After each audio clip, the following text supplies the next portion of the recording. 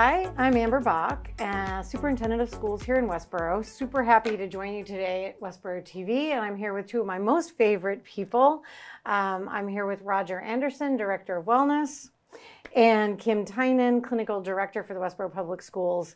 The two of them are kind of the mighty duo who support us across pre-K to 12 and even beyond into our 22-year-old program to really think about making sure that our students thrive here in Westborough. Every child who comes here can get educated, get connected, leave us, and head off to their next best things. So um, we're excited today because one of the things that we've been talking a lot about is how we can make sure that we're providing more information to families in the community about the amazing stuff going on here in Westborough.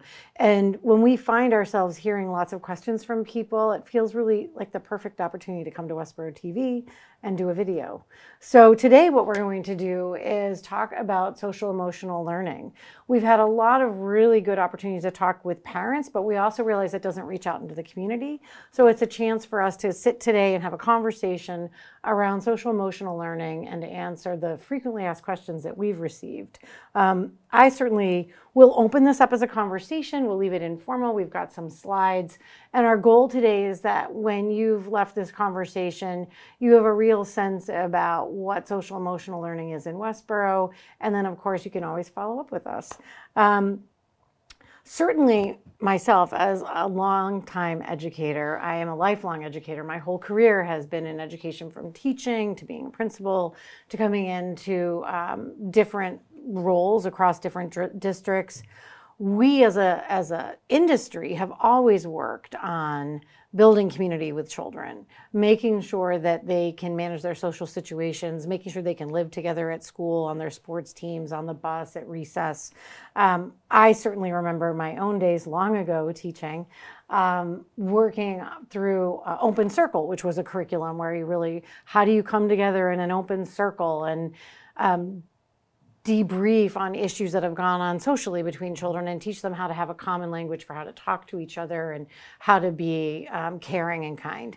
Um, I know we've also over the years used responsive classroom, we've used restorative discipline. All of these are kind of the uh, curriculum array of ways that schools over years and years have responded. I'm sure those are curriculums familiar for both of you guys as well. Mm -hmm. um, I think what people really want to know is you know, well, what are we doing here in Westboro? And for me, I think it became um, interesting to see that once um, the Department of Education, DESE as people hear it referred to, um, mobilized uh, an SEL curriculum framework and really actively engaged in um, speaking about the need for this in schools, uh, that there became more questions about it. And it's certainly understandable given once a large organization grasps something, it raises more questions for people about, you know, is this like a controlled discipline of curriculum? And I think there have been lots of interesting questions. So today we want to kind of dive in on that. Um, so, you know, for me, certainly it's a core role, and I speak as a superintendent here, that we want to equip every child at the different developmental ages to deal with navigating their social, emotional lives um, with each other in the classroom, on the playground, but also certainly on their sports teams and everything beyond us as well. Um, so I thought what we would want to do is maybe dive into some of the questions that are being asked of us, and then you guys can, as the experts on this, really help us to um, explain what uh, what we're doing here in Westborough. Sure.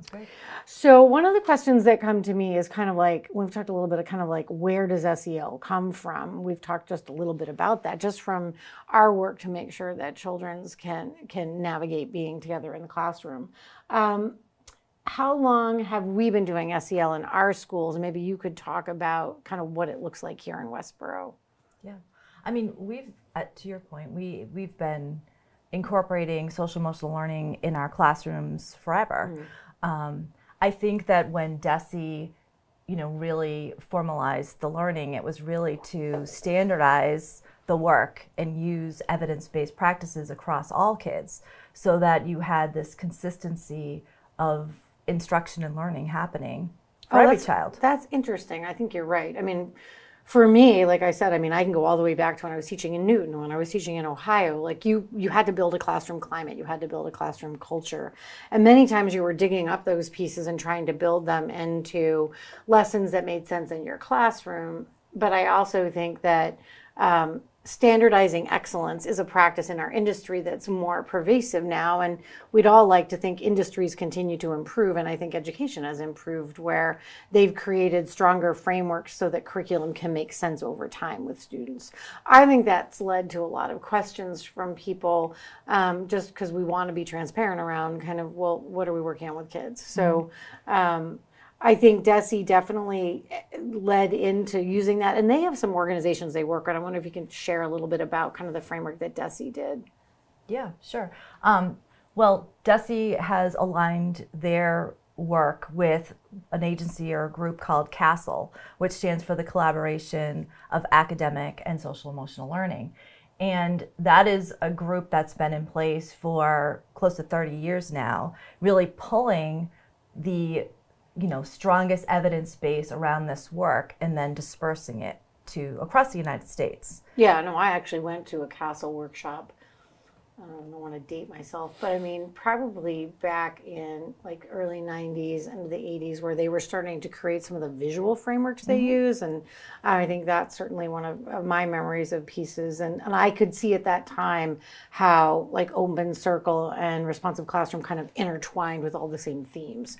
So I wonder if we could, I think you have some slides on that. Maybe we could look mm-hmm. at some of the slides. I wonder, um, so how does this desire to make sure that we're supporting students being able to um, all live together well with empathy and, and kindness. Like, so tell me about like how does this all fit into like what we're focusing on so you know one of the questions is kind of like all right so what are the skills you're teaching my children and how are mm-hmm. you doing that so um, you know tell me a little bit about this this circle here that that we see yeah, so we've identified that there are five main competency areas that we want kids to become proficient at, and it looks really different across the ages. Um, and we'll show you some examples of that in a moment.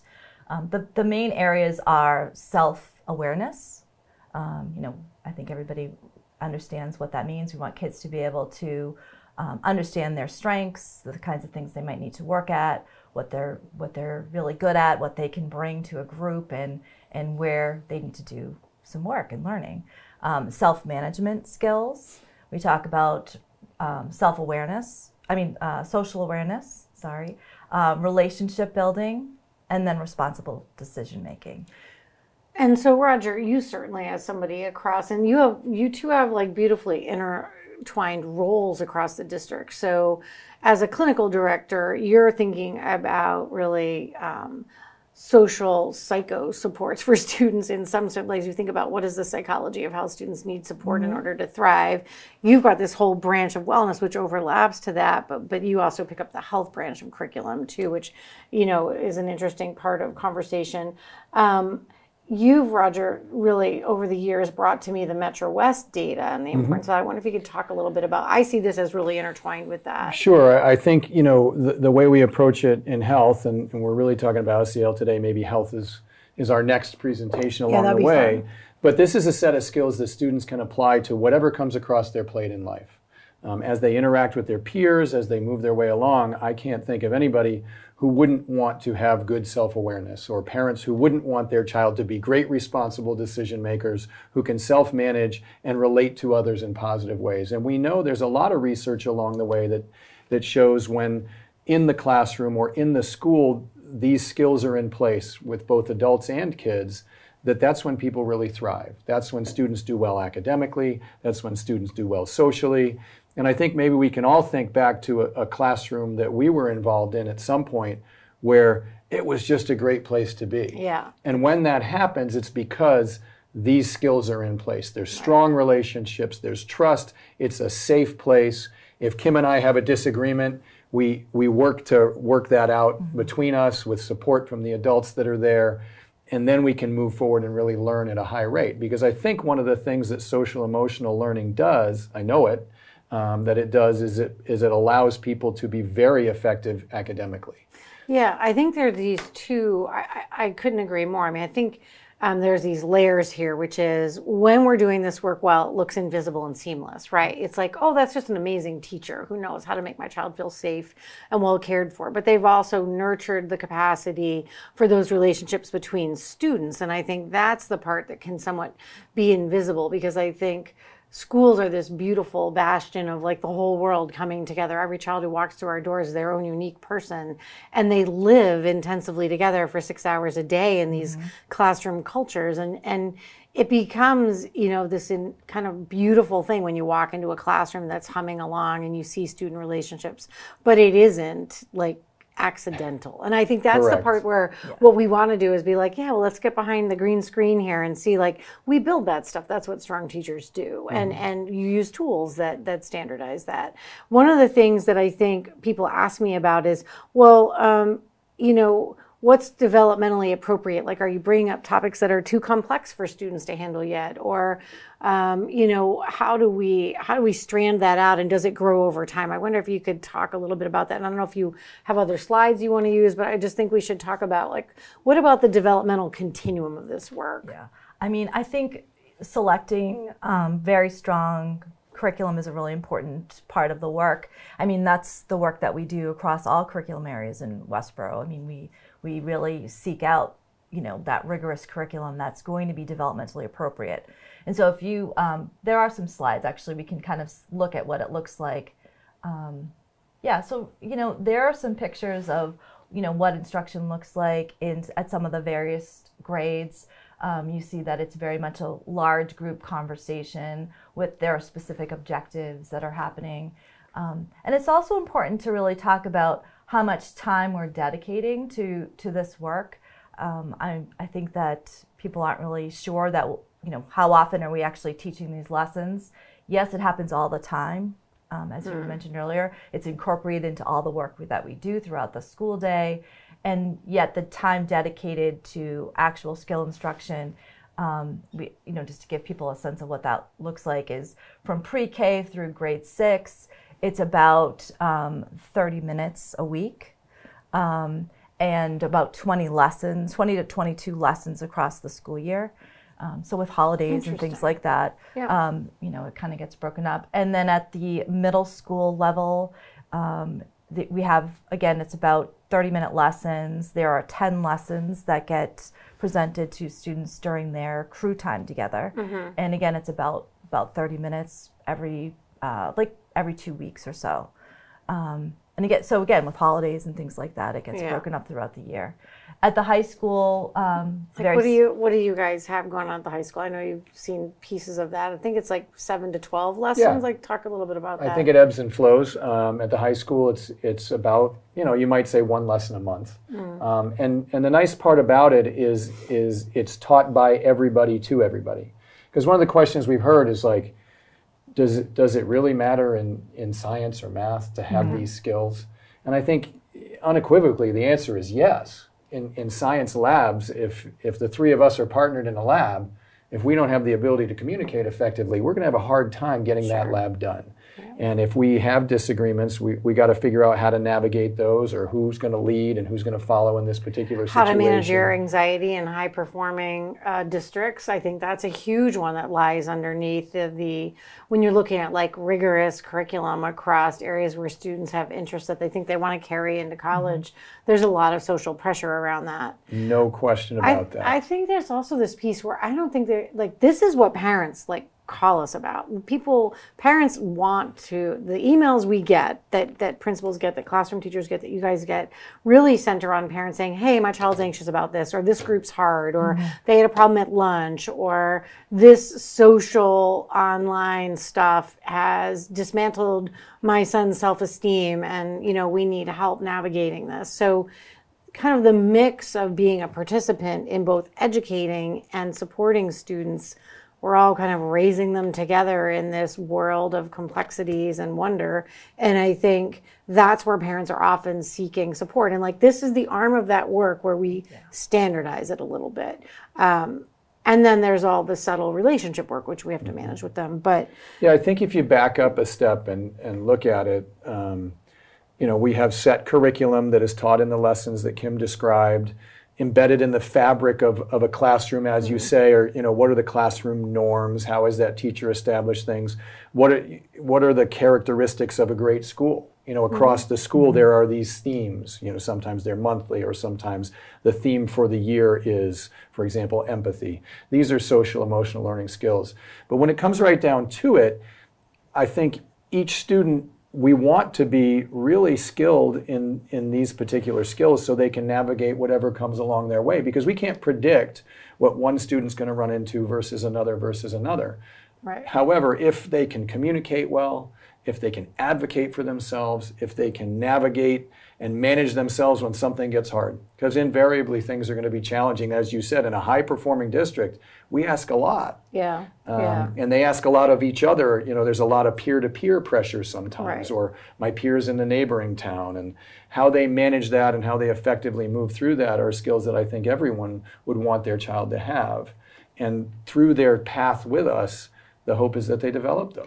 Well, and I think, you know, again, parents talk about this all the time. I mean, I've raised two kids that are now 25 and 27, and you're still a parent. It just evolves and changes.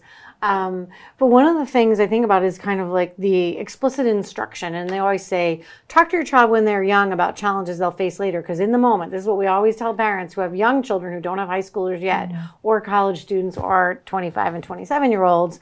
You know, the the preparation that those underpinnings are done when they're little the keys of character at mill pond right mm-hmm. and then you have this so you're down at preschool and they've got the little puppets and the puppets are talking to each other about you hurt my feelings and how do you feel or can i play with you and like all these kind of framework pieces are the underpinnings and then that is the same it's like that book everything i needed to know i learned mm-hmm. in kindergarten it's been around forever this whole idea of like what you learn when you're little like grows and then i know from keys to character you end up hopping up to Gibbons in the high school where you shift over to the Trails curriculum, which mm-hmm. again is a more sophisticated leap toward um, problem solving where kids can talk through the dynamics of different social situations and be kind of prepared. But it draws upon the same stuff. Yeah.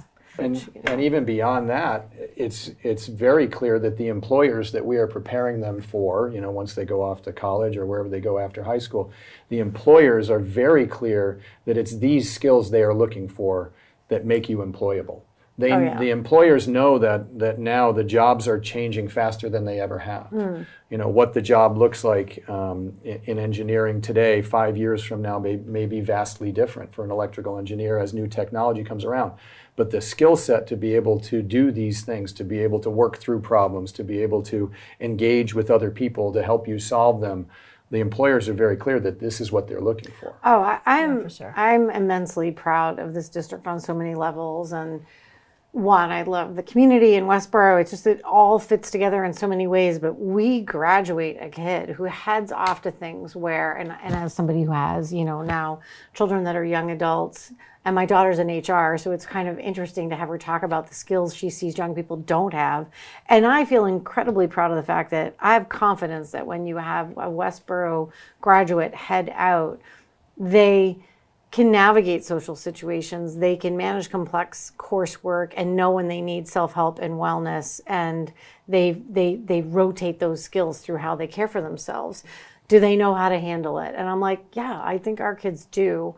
Um, I wonder if you could talk a little bit about, Roger, one of the things we've talked about is the mental health of our mm-hmm. students. And I think people see this statistically out in the world. And I think one of the questions people say is like, are we making them more anxious by talking about it? Or mm-hmm. so I just, I wonder if you could talk a little bit about it. yeah, that. so we know we, we collect a lot of data on, on, our students. We are part of the Metro West Healthcare Foundation grant to uh, look at adolescent behaviors.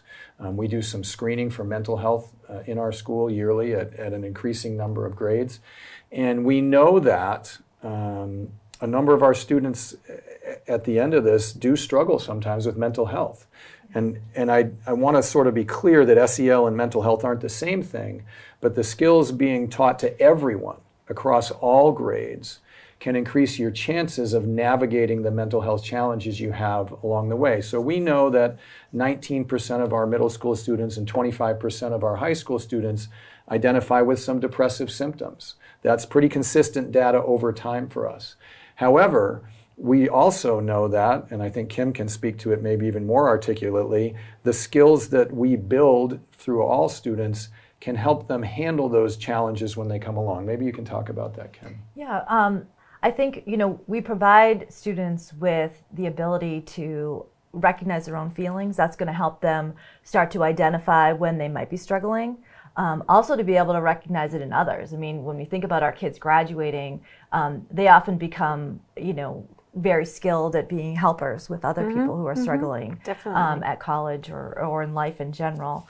Um, we, we help them to recognize the supports that are available within a community, um, understanding the important adults in their life, both mm-hmm. at school and at home, um, who they can go to when they do need support. Learning how to ask for help is a really important skill that you need mm-hmm. for life. Again, we're teaching kids to be able to be resilient and to recognize their challenges are going to happen and we want to give them the skills they need in order to be able to navigate it. No, I, I, well said. I mean, I, I, think the other thing is one of the things that people ask about is they'll they also hear us talk about tiered interventions, and I think um, I they have a hard. I, I think it's hard for people to then understand like what are all these pieces of what you guys are doing. It's confusing, um, and so. And I, the way I frame it with people, and you can help me out then and explain. I mean, I feel like social emotional learning curriculum and this base curriculum we're talking about is core to all. Mm-hmm. And yet, what we want is students to know to ask for help. So the SEL skill, just walk me through if I'm doing this right. Like the SEL skill across those years teaches kids to know I should get help from an adult or a friend if I need it. That's an SEL skill. Mm-hmm. Um, we teach that to all kids. Parents reinforce it. We all work around that network. Um, if you got bullied in the hockey, you know, room after the game, then you need to talk to an adult. We don't know that's happening. You got to go for help. You don't have to just put up with that. Like mm-hmm. how to how to do all those things.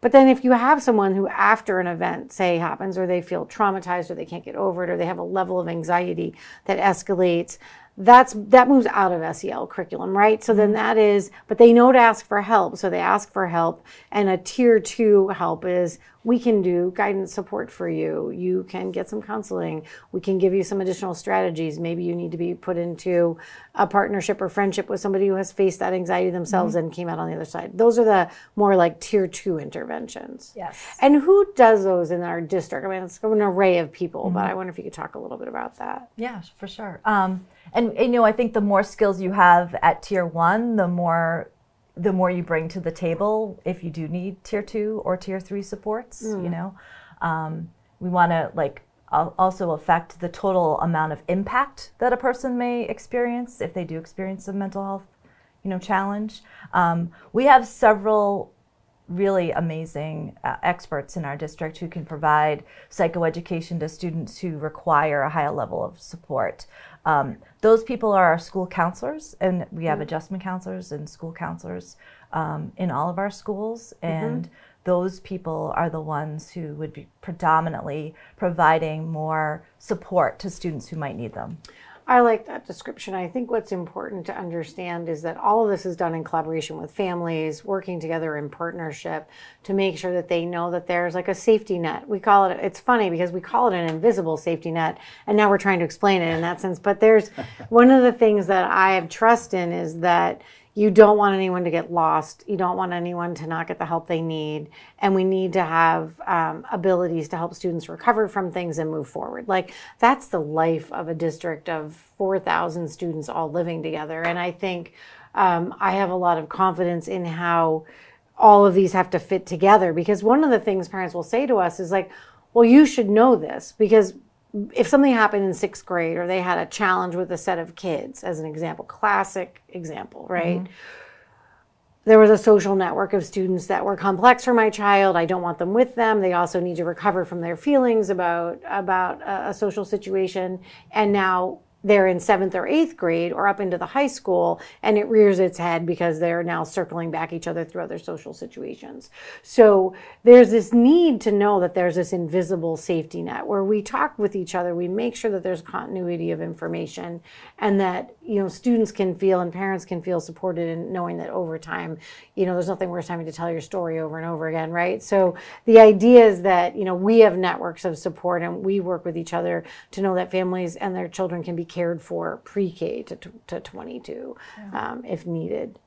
So um, let's change gears a little bit. I just want to make sure we're covering all the questions I get from people. This is like so great to have you answering all these questions. Um, I'm feeling very, very happy. Uh, let's see. One of the ones that people ask is like, well, why don't we just do core curriculum? I think you talked a little bit about that. Like we we do consider it core, but it doesn't distract from it. I mean, Roger, like no, I think it adds that? to it. There's irrefutable study after study after study that kids do better academically when they are strong in these skills, and I think we can all internalize that where if I'm in a classroom and I'm feeling threatened by what's going on in my own body or what's going on around me, it's going to be much harder for me to engage with the curriculum that the teacher is, is working with me.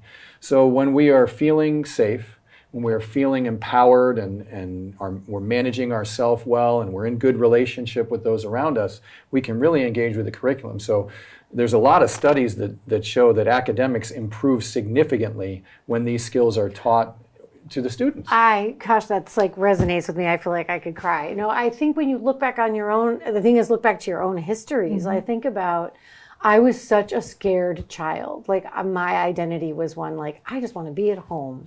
Like take me home. School was not a place where my sense was like, boy, do I thrive here. Um, you know, and I and that was when I was littler. But it, it that identity is base and it carries through. And you know, it, it feeds into this idea like until you can feel confident and it wasn't like I was a, maybe afraid of my teachers in some cases. So you have to have that safety relationship with teachers, which has to be developed through this mm-hmm. kind of mm-hmm. work. But you need safety relationships with kids. And if you feel vulnerable or you feel seen or not seen, um, that anxiety definitely gets in the way of your feelings about the class where it happens. Like, I hate math because I hated this experience, right? I will never do math because mm-hmm. I had this experience. And so that's like primal like it's deep. It's like definitely identities you carry forward with you. And so as an industry we've been more and more responsive to this because we we live those stories and then we hear them. And so i just think our goal is to make sure that everybody feels seen loved heard and that they can thrive. Like that's it for me. Like it just the the work that we do has to center on that. Um, i wonder about um, a piece of um, this part around um, we've talked about kind of why my child needs to learn those skills. But one here that i like is this discussion around i think roger this like hops over to you but one of the questions i gotta grab this here it's here. Um, one of the questions that there's been a lot of discussion around is all this gender identity and mm. who kids are and are we putting more curriculum in front of them than they need? And how does that all mix in with sel and I, and and I've explained to people on some levels that that's a branch of our health curriculum more mm-hmm. than SEL, but the, but pieces of it intertwined. So right. I just want to kind of throw you that one and have you talk a little sure, bit. Sure. Well, I think I think Kim can answer the first question, which is you know is that a big topic in SEL? No, it isn't.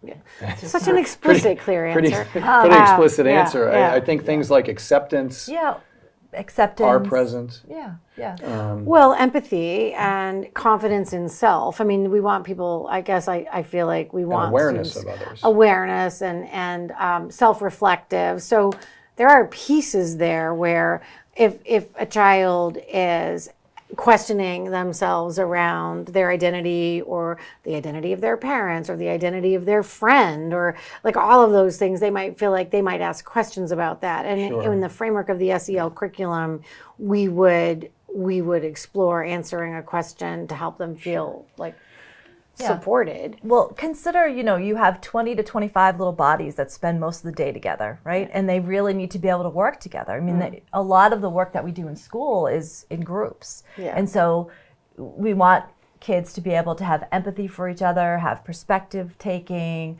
be able to listen to one another actively. I mean, in those are the skills that we work on. Yeah, I saw. Um, I mean, I have the gift of seeing this in schools as I visit around. And one of the ones that I saw was this. I, it was at Mill Pond. I don't know if it was fifth or sixth grade. It might have been fifth. And they had this beautiful bulletin board, and it was these identity. It was these beautiful trees kids had mm-hmm. on, and it had like all the things that make them who they are. Right. Mm-hmm. Like here's who I am. All about me. Right. You think about the boards you do down in first and second grade, where you send in the picture of like all about yeah. my family and all mm-hmm. about me, and then that trajectory becomes more reflective by fifth grade, which is like what makes up who you are and where where are your strengths and and you know what makes you you and they do that in the fall to start to get to know each other so you know if, if religion is a big identity of mm-hmm. someone's life then that's where kids will ask each other about religious identity and and those are really exciting conversations but they do have to be navigated within mm-hmm. like developmental windows and, right. you know right. yeah i think i think you know sel opens the door and then in the health curriculum we have national and state standards where we address you know a lot of these different things and and you know maybe that's the next conversation we have together yeah, yeah, makes a lot fun. of sense to put that on the table because it's all right there yeah. Um, but i do think you know when when sensitive topics come up whether it's in sel or in health our teachers are pretty well trained yeah. to, to work within the boundaries of what we have yeah. And, and they can recognize um, and have language for things like, you know, that's a, that's a really interesting question. I don't know the answer to that question. Perhaps that's one you can ask your parents. Mm-hmm. And I think in the end, when schools and parents and the student work together toward the student's benefit, um, I think that's when we function our best. And so we have very highly trained teachers. Um, our teachers are trained around SEL, um, but the health teachers, particularly, are very well trained in how to navigate some of these really mm-hmm. tricky conversations. And while we aren't pushing any agenda ourselves, having our kids be aware of what they're walking into, aware of the world that they're a part of, and having the skill to navigate it is what we really hope for. I think what's important and when we do these kind of kind of conversations, I think what's important to do is say like we really lean in on this work. We're comfortable with these conversations. We're, we welcome people asking those questions, and we're willing to always sit down and and make sure that people feel like they're aware of what the trajectory of their children's experience is going to be in school. And you know, it's a very human process. You have 700 faculty and staff across this district all interacting, and 4,000 students, and so there's a wide array of experiences that are going to happen. And so it's important for, for us to empower families to be like, yes, ask that question, check in with us. And yet we can feel like we've had lots of individual conversations. I think the power of doing like a, a video like this is to get a continuity of messaging out to people and be like, this is a conversation we've been having a lot. And sometimes people are afraid to ask, like they're pestering us or something. So I think this kind of video work gives us a chance to have those conversations that aren't email, they're more personal, and they also give you a chance to kind of hear a wide array of how everything fits together. You can back up and listen to it again and then send us an email. That's the part that I really want to welcome with people is this sense about we are a public education system and we really welcome, you know, interacting with people around all their questions. Um, I want to make sure we really cover all of this stuff today. We talked a little bit about kind of the questions we're um, seeing. Are there other pieces you guys want to make sure we put on the table that we kind of cover? Well, I wonder if we want to take a look at some of the videos yeah, of, our, we, our kids. Why don't we take a minute um, and do that? You know, again, just to give people an idea of what it looks like in the classroom. So there's a couple of videos. I have um, some clips from a kindergarten classroom of what self-management looks like, and then there's a high school student. Um, so I think looking at the two of them, you'll see the trajectory of learning. Focus, focus, listen, listen, use your self-talk, be assertive, focus, focus, listen, listen, use your self-talk, be assertive, focus, focus, listen, listen, use your self-talk, be assertive, this is the way all can learn. This is the way we all can learn. First you focus, get your attention, use eyes and ears and brain. Now you listen, make sure you listen, use eyes and ears and brain.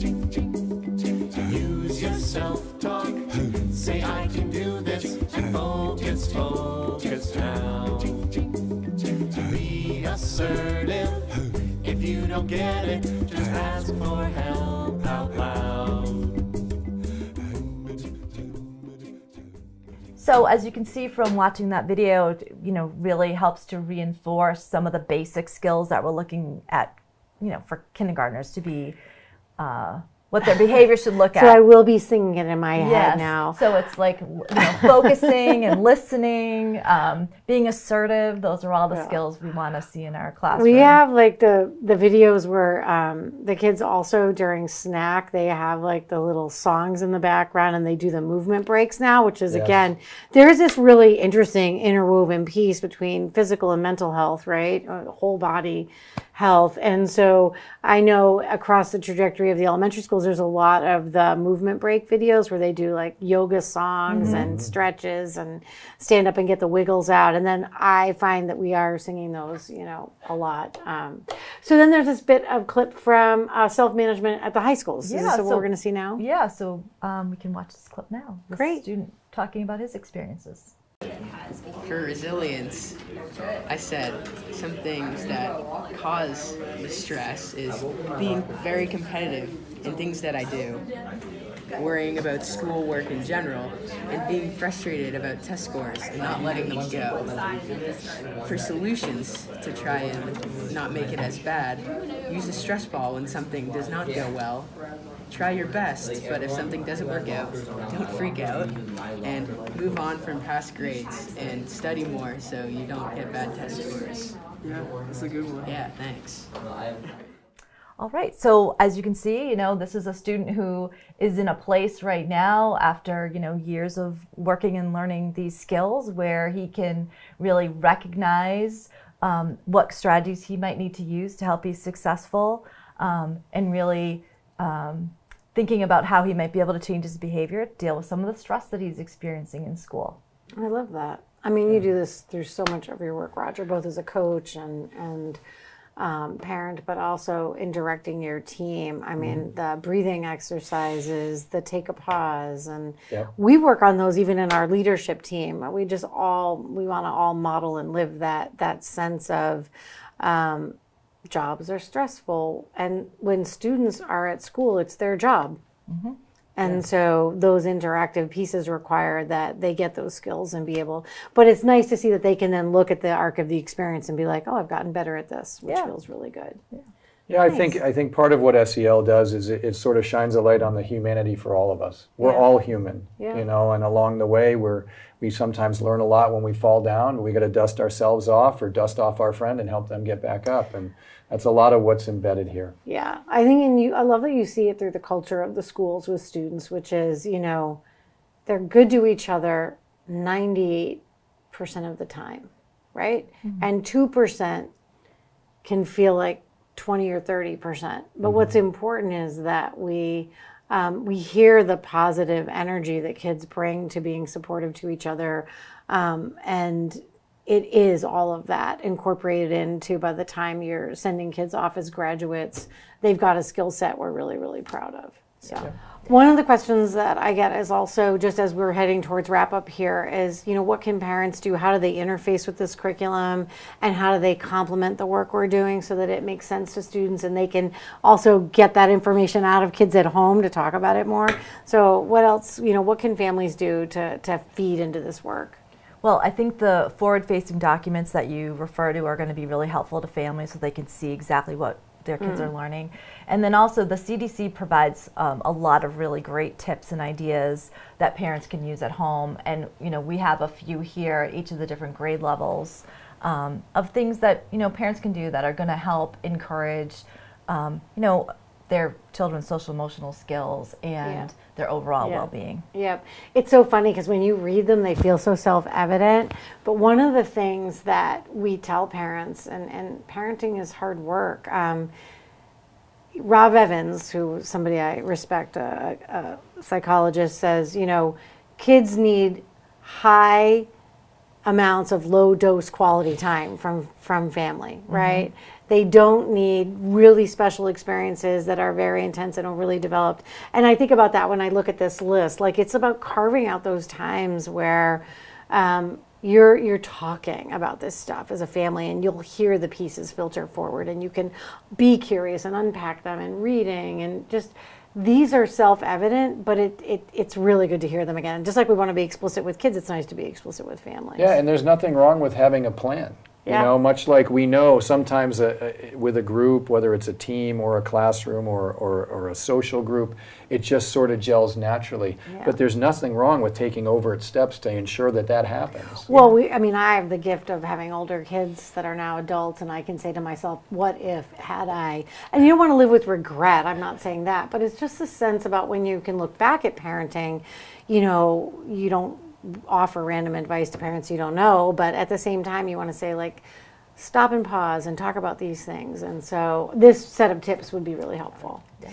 So I think we've covered a lot. I want to make sure that before we leave here today that um, we've answered the vast majority of questions. And um, I do think Roger doing one on the health curriculum would be like really fun, actually. To I talk think that more would be about great. That. Kim, you can come great. back with us if you want. yes. Um, you know, they're very, very intertwined. And I think we're also working on um, curriculum forward facing documents, which we wanted to update so that people can like look at that. And it's just a, a, world where people are getting so much information that they really need us to help them kind of navigate yeah, sure. boiling it down. But I also feel like this is a more personal way to do it. So for those of you that uh, have taken a moment to watch this video, we want to first say thank you to Westborough TV.